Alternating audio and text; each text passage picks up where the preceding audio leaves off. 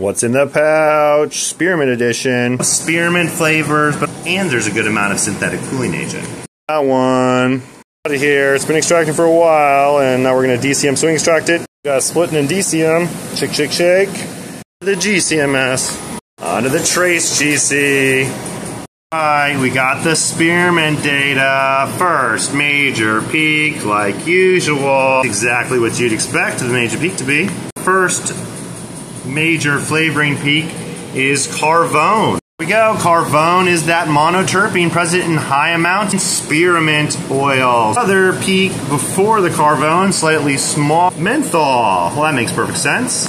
So the next major peak is out in the synthetic cooling area. Looks like we got a synthetic cooling agent in this S3 from Winsense. We've seen this in other pouches before. This is a synthetic cooling agent with a minty, long-lasting cooling flavor. Let's look at the little minor peaks. It's eucalyptol, is dihydrocarvone, so another spearmint flavor.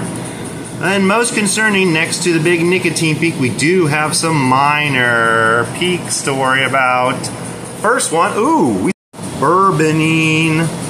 Is said to have a herbal, woody, floral, balsamic odor. We've, we also have caryophyllene. Look at nicotine. You see this 133, 162 mass pattern.